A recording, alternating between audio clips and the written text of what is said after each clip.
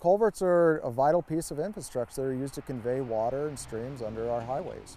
They're also used to pass fish and other aquatic organisms under our highways safely. We do have uh, about 40,000 culverts that we know about in the state under state highway infrastructure. We have everything from small corrugated pipes, so the corrugated metal pipes, 8 inch, 12 inch little cross drains, all the way up to the big, massive concrete box structures, essentially a bridge at that point. So this is a typical example of one of our concrete box culverts. We use a lot of these across the state for our road stream crossings. For fish passage, a lot has changed in the last few decades. Um, we found that when our highways were installed initially, 40s, 50s, 60s, um, we were looking at the capacity of that structure to move water under the highway. At the time, even that was a little bit undersized. So what we're finding with the specific to the design changes is we're really opening them up.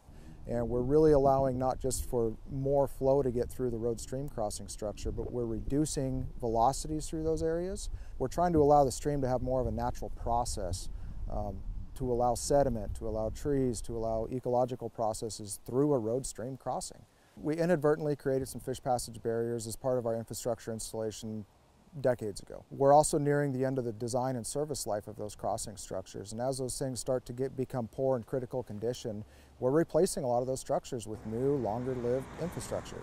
As part of that, we're also addressing fish passage. So if we have a barrier or if we have a way that we can make fish passage better, we absolutely do what we can at that structure to, to make it work. The cost benefit, if we can go in and replace a structure that blocks three or four miles of high quality habitat, it's a lot cheaper just to allow those fish access back into that habitat than to go buy or restore three or four miles of habitat somewhere. Um, so we're seeing significant access and, a lot of high quality habitat across our state that fish can now get back to. For us to have the ability not just to improve our infrastructure and extend the service life of our highways, but also provide for the ecological um, world while we're doing it is just a win-win across the board.